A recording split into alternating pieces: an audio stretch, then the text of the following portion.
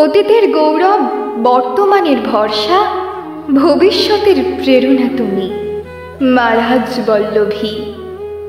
নদীর তীরে, মাঠের ঘাসে, দিঘির পাড়ে তোমার অবাধ বিচরণ আমাদের গ্রামকে আরও মায়াবী করে তুলেছে। চারিদিকেই তোমার স্পর্শ অনুভব করা যায়। তোমার নামেই আমাদের পরিচিতি। প্রতিটি শুভক্ষণে তোমায় স্মরণ করতে ভোলে না রাজবলহাটের প্রতিটি মানুষ। শীত শুভ্র, সদা হাস্য মুখে বিরাজমান তুমি, যা দেখে এক অনাবিল আনন্দে ভরে ওঠে মন। শত দুঃখ কষ্ট পেরিয়ে জীবনে এগিয়ে চলার মন্ত্র তুমি তুলতুলে নরম শরীরে সদ্য বসতে শেখা শিশুটির মুখে ভাত তোমার দুয়ারে বসে। চারিদিকে ভাত মেখে মুখে এক গাল হাসি।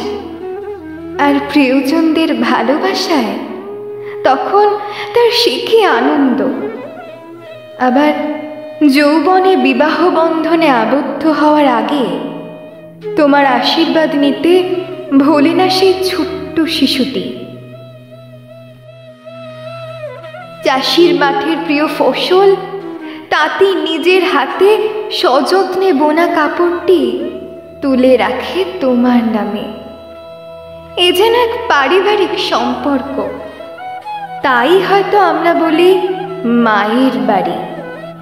আর পুজোর সময় বন্ধুরা একসাথেই মায়ের বাড়িতে আড্ডা না দিলে পুজোটাই বোধহয় সম্পূর্ণ হয় না। অষ্টমীর সন্ধি পুজোর প্রদীপের আলোয় নতুন বেনারসি শাড়িতে তোমার হাসি মুখটা দেখতে অসাধারণ সুন্দর। প্রতিদিন দূর দূরান্ত থেকে ভক্তরা ছুটে আসে তোমার কাছে আশীর্বাদ নিতে। প্রসাদ খেয়ে দিনের শেষে বাড়ির ছোটদের জন্য খেলনা আর তোমার ছবি হাতে ফেরে আপন ঘরে। জীবন সায়ান্নে ধীর পায়ে হাতে লাঠি ধরা লোকটির সন্ধ্যারতির ঢাকের আওয়াজে তার বাঁচার রসদ তুমি মারাজ বল্লভী। হিংসা, বিদ্বেষ, হানাহানি দূরে রেখে প্রতিদিনের জীবন যুদ্ধে এমনইভাবে জড়িয়ে থাক তোমার নাম। তোমার আশীর্বাদের আলোয় আরও আলোকিত হোক আমাদের রাজবলহাট